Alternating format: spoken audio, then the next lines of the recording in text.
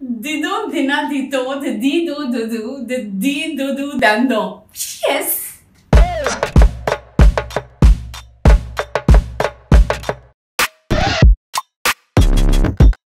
Je suis comédienne, je fais du cinéma, je fais du théâtre.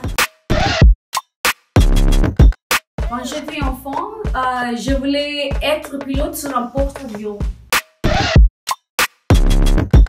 Mon premier film était en français. J'étais très heureuse de gagner le Palme d'Or à Cannes en 2015 avec Deepan, le film de Jacques. Ce qui me tient cœur, ce n'est pas exactement une cause, mais euh, je crois vraiment dans l'amour et la bonté. Les chaussettes de l'archiduchesse sont-elles sèches, les